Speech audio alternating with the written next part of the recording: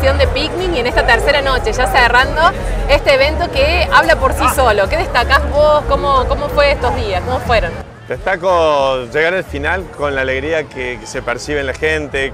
Caminamos todos los espacios gastronómicos, los emprendedores, y se nota eh, la felicidad de la gente, de los comerciantes que han apostado, y eh, diciendo que venga la cuarta edición, nosotros con la dicha de que han pasado más de 40.000 personas, que lo hemos hecho un evento que ya la gente lo apropió en el espacio más significativo para los almafuertenses, que es la casa de nuestro fundador, su parque, imitando su fiesta cuando recibía a sus anfitriones, cuando recibía a los visitantes.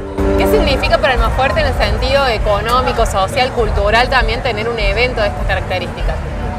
En estos tres años hemos visto que el 100% de la capacidad se llenó de la ciudad, hablado con comerciantes de la área central y vendieron, quintuplicaron ventas, porque hay un turismo que se dinamizó y lo más importante creo que significa en el corazón de los almafuertenses.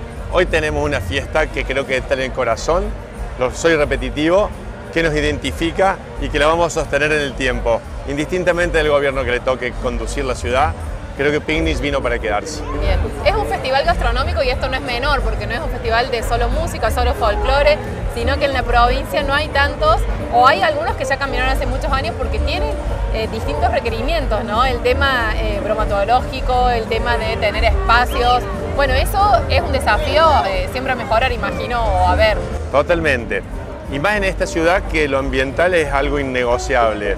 Le pusimos bacha para que sus vertidos fuesen a una cámara y que no contaminasen absolutamente nada. Le recogemos los residuos para que haya separación en cada uno de los puestos. Es gastronómico porque el 60% más de los emprendedores de Almafuerte tienen ese rubro.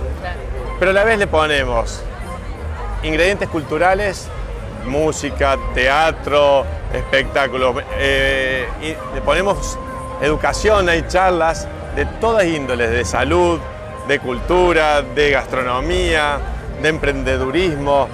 Creo que le ponemos bastantes condimentos y una plaza para niños para que tengan los atractivos necesarios, la familia puede venir con los niños. Bueno, el turismo en Almafuerte creció, más allá de Pingui podemos hablar de una temporada que fue exitosa, ¿no? La mejor de la historia, la mejor de la historia con un 100% lleno en febrero, más del 90% en enero y pensamos que en lo que viene del año ya tenemos por lo menos entre 4 y 6 propuestas deportivas que llenan la ciudad, pensando en un triatlón nacional, en un triatlón provincial, duatlón, aguas eh, abiertas, quiero pensar en un desafío al Piedras Moras ciclístico, entiendo que va a haber propuestas culturales por el lado del teatro, pero esto es a venir adelante lo estamos desarrollando. Bueno, el que no visitó el más fuerte todavía en la provincia de Córdoba sabe que acá está el lago y que está todo esto que vos contás.